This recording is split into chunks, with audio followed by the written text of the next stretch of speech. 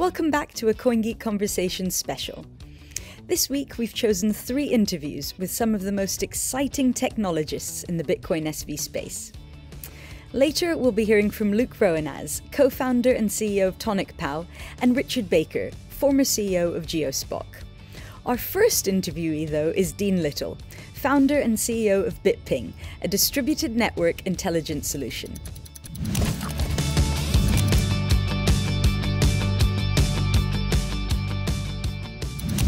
Charles Miller had the chance to catch up with Dean at 2019's CoinGeek conference in Seoul. Not long after, BitPing, then known as Uptime SV, had just been crowned the winner of the first ever Bitcoin SV hackathon. Here he explains the company's mission and USP.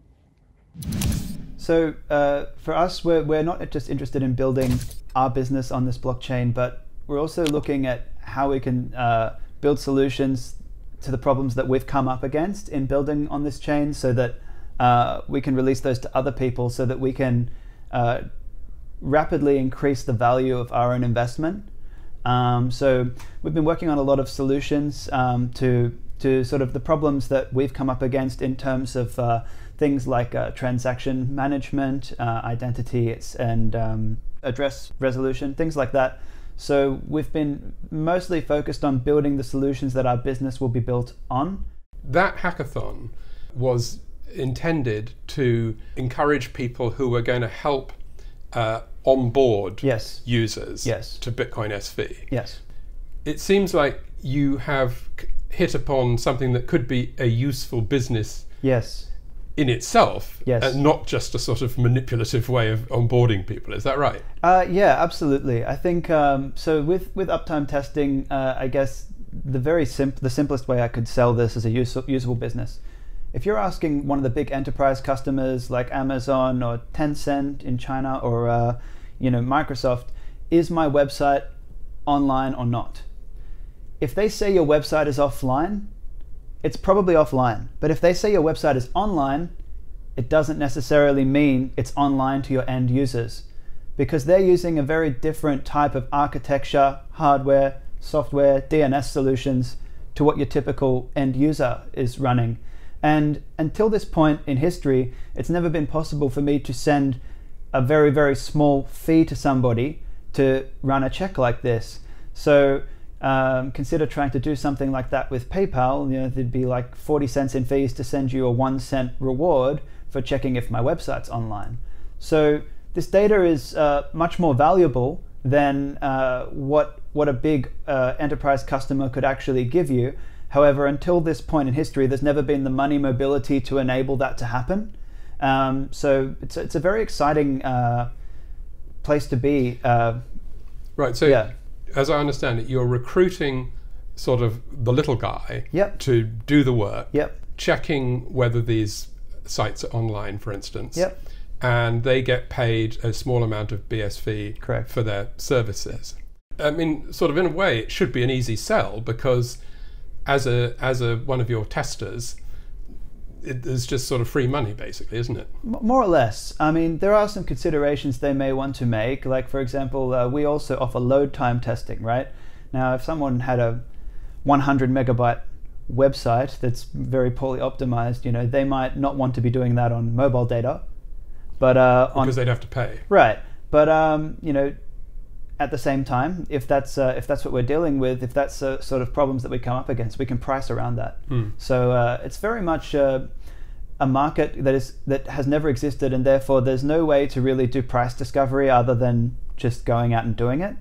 Um, but yeah, we definitely foresee that it's going to be very cost effective, and this data is going to be worth a lot more than um, you know in terms of business intelligence um, than uh, what any of the big providers can uh, can actually give you, uh, especially in, in terms of things like uh, internet censorship, political stuff. Um, what you mean? So that you'll ask users in different places whether they can see something. Is that right? Right. So, like uh, recently uh, in in, in Australia, we've had certain websites blocked by ISPs. the same has happened in Hong Kong. The same happens whenever you know there's a there's a political uprising somewhere where people are unhappy with their government their government shuts down the internet so um, it's it's important for people to be able to sort of uh, see what what's going on. Like I fully support. Um, uh, I fully support someone's uh, right to, um, you know, to enact laws in their country, even if I disagree with them. Um, but to do so without transparency is is wrong. It certainly is. Kudos to Dean for his political efforts. And next up, we have Luke Rohenaz, CEO of TonicPow, a Bitcoin SV powered network that allows users to earn money by sharing website links. Here he is explaining why he chose to build the network on Bitcoin SV and the disruptive effect shared protocols can bring to social media. How innovative is this? I mean, it's innovative in the world of Bitcoin SV, but outside of that, there are some uh, businesses that are in a similar sort of space to this, I guess, aren't there? Yeah, there are, and there's lots of there's lots of similar similar takes and different uh, products that are out there that do um, you know social media marketing type stuff like this. Um, you know where we end up shining is when you start to count up the various little edges that Bitcoin gives you. Um, one is like not having to build the entire payment management system and reconcile all that and settle it and worry about chargebacks and all that sort of a thing. So there's a whole whole big chunk of efficiency that gets gained there. Um, the transparency that kind of comes along with having these things all on an on an immutable ledger and you know third parties can build software that just does TonicPow analytics and have an entire company just dedicated to delivering even improved analytics on what we offer maybe not to mention the obvious one which is the simple fact that we can do micropayments um, you know so there's a there's a number of little things that really do add up and give us an edge and it's just a better it's just a better place to build something like this well also i think it's a brilliant uh, concept because it's drawing people into the bitcoin economy who don't even need to know that they're part of it somehow and and you yeah. know you might you might just start off by being um, a, a, visitor and then you become a promoter and then you become an advertiser and you sure. will come closer and closer to the center of the circle and probably more and more aware or interested in how this all works, which is through Bitcoin SV. But um, it's it's perfect in that, in that it draws people in. That's that, that was the on, onboarding side of it, I guess. Right, and you know, one of the big things for us is you know you can create an account and actually start getting BSV without technically without ever even having a wallet and you don't even need to know what a wallet is. You just sign up for a website and start sharing some links, and you're earning money. Um, we're basically holding a wallet for you at that point, and then you could add a payout address later. Oh, right. So you don't even need to have a money button or anything set up. No. That's interesting. But yeah, yeah so you that, then you just build up credit with TonicPow and. Right.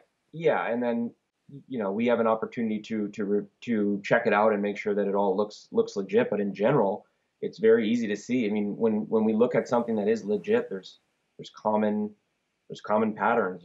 I, I saw one interview where you you talked about um, going after the tech giants with TonicPow as it develops.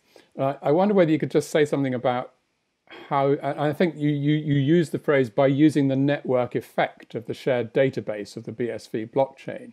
So just can you just sort of explain that to me? How what did you how's that going to work? So, you know, it might be an easier example to think of even a different type of product when you think about this effect that I'm that I'm describing with the with the network effect, but you know, there's one major untapped uh, piece of potential that lies in Bitcoin that hasn't really been um, pushed uh, much at all yet, and that is this: the idea of these open of open protocols that are universally used by many companies. And one where one place you might imagine this is in a social network or something, where you have a universal set of rules for what the data structure is like for a post, for a like, for a follow, for all of these various elements that make up a social network. And you know, if I created a regular social network like a Facebook clone tomorrow, there's basically a 0% chance that I can succeed because, you know, it's the, you know, the, I don't know if there's a name for this, but like the, the crowded bar dilemma, right? Like where you know, everybody wants to go to the most happening bar, but like if it's empty, nobody goes in. And like, how do you get, you know, one step to lead to the other to lead to the ultimate result? But that is the network effect, really, isn't it? I think. Right. You have to have the most popular bar in town to yeah. kind of draw the. No one's no one's ever wants to be the first person into an empty restaurant. Right. Right. Exactly.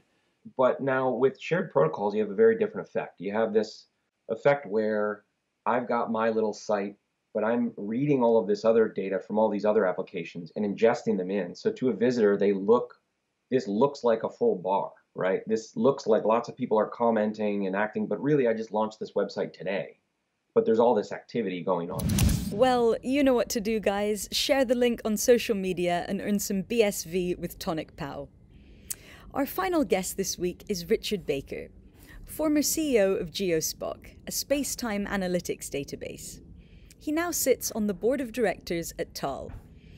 Here he is talking about the potential value IoT devices can bring to our lives and the opportunity for Bitcoin SV to move into the lucrative cloud market. So, when you're thinking about a smart city, actually, the, the thing that comes to mind is it's about contextual intelligence. What, what is happening as an ecosystem is what you're trying to get to. I'll give you a, a quick illustration of that, which is let's project forward 10 years and we're thinking about autonomous vehicles trying to run through a city. Uh, cars will communicate to each other, uh, but cars will be communicating to the infrastructure. So, how does an autonomous vehicle make a decision on whether it's safe to overtake the vehicle in front of it or not? Well, it can make a near field decision about, I can't see anything on the road, the car in front of me is going slower, I can overtake. But what it needs to know is that there's an emergency vehicle just one mile up the road coming at a particular speed, and it isn't safe for that autonomous vehicle to take the decision. And this is contextual intelligence.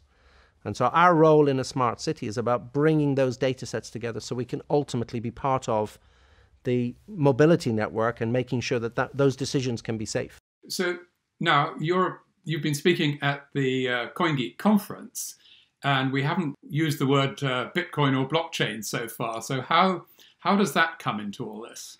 Yeah, so um, delighted to be at this conference, Charles. It's been an amazing experience, and yeah, I think we've noticed really as a company that around the world, uh, cities, transport companies, automotive companies have all started to adopt proof of concepts and trials of different digital ledger technologies. So we've seen blockchain certainly rise as a new technology, as an alternative technology to uh, other mechanisms. So for us, you know, in in the way that we index data today and we post that data to the Amazon cloud and we store it on disk drives in Amazon, why isn't Bitcoin SV both in terms of protocol but also in terms of what organizations like Taal are doing the alternative store. And so we, we really see a, a, a situation where today we're dealing with event information coming from sensors, but actually the next step is really dealing with the commercial transactions.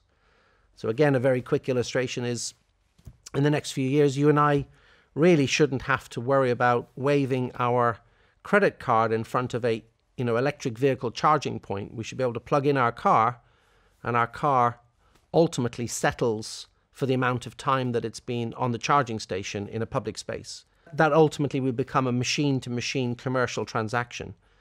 And I think we see an opportunity here where Bitcoin SV becomes the digital ledger of choice for those types of transactions in, in the machine to machine economy. Right. So you're not particularly talking about Bitcoin SV as a data storage medium. We, we would talk about it both in terms of its uh, transaction uh, infrastructure, it's a storage infrastructure, and ultimately our, our role with that would be that you know we would hope to become the analytics translation layer of that underlying data store.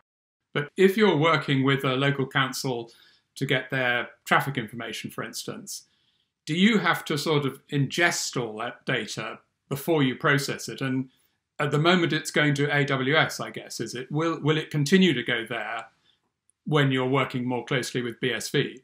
Uh, I think it will. You know, our, our observation, of course, is we're we're replacing, or society is probably an industry is replacing one set of silos with potentially uh, another set of silos. You know, we uh, see probably in the Western economies, Google, Microsoft Azure, and Amazon Web Services as the dominant cloud players. They're not the dominant cloud players when you move to Asia. You know, we've got Ali Cloud and Tencent, and and ultimately, customers, industries making choices between these kind of dominant six to nine cloud infrastructure companies. So at the moment, and probably for the next five to 10 years, what was enterprise storage and having it on site is moving to cloud, and those players are ultimately getting the benefit of that migration. The big opportunity, but equally a challenge for digital ledger technology like uh, Bitcoin SV, is, is how to move into that market, how to become an alternative to those big cloud vendors. AWS, watch out. There we go. Three of Bitcoin SV's finest technology experts. What will they come up with next? Next week, we'll be featuring three interviews with educators from the Bitcoin SV space. Don't miss it. Thanks for watching this CoinGeek Conversation special. And please join me, Natalie Mason, again next week. Till then, goodbye.